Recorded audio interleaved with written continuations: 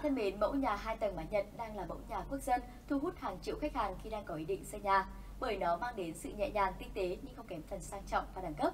Hôm nay Tân Á xin mời các bạn cùng tham khảo mẫu nhà 2 tầng mái Nhật được chúng tôi thiết kế cho gia đình anh Mai chị Hằng tại Hương Sơn, Hà Tĩnh.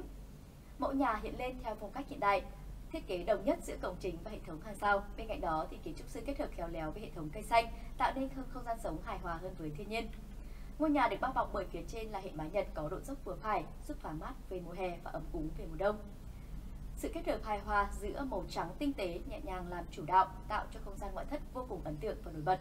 Cửa chính sử dụng gỗ lim Nam Phi khung pano kính, bậc tam cấp được sử dụng đá granite, hai trụ cột thiết kế vuông vức khỏe khoắn nhằm tạo nên sự vững chãi bề thế cho công trình.